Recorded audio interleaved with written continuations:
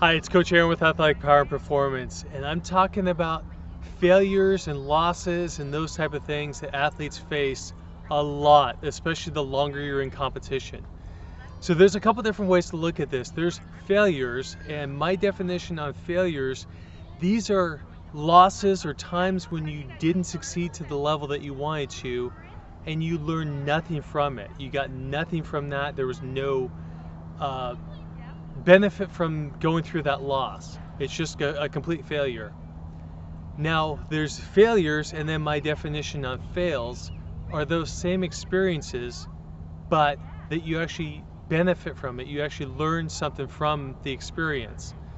The beauty of this is whatever failure you've had in life, even if it's been years ago, decades ago, you can turn that into a fail, which is a learning experience, a stepping stone to become better simply by changing your mental outlook on it. So anytime you don't succeed to the level that you want, even if it's an epic fail, you can actually make that a fail, which is a stepping stone, which is a learning opportunity for you to become better, stronger, faster, and a better athlete.